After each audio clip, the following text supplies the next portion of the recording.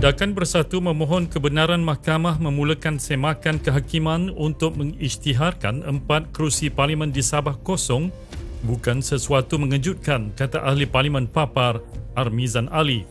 Empat kerusi parlimen itu merujuk Papar, Batu Sapi, Ranau dan Sipitang. Menurutnya, tindakan itu juga dilihat sebagai usaha mengagalkan Parti Gagasan Rakyat Sabah – Armizan juga menegaskan mereka bertanding atas tiket gabungan rakyat Sabah bukannya bersatu.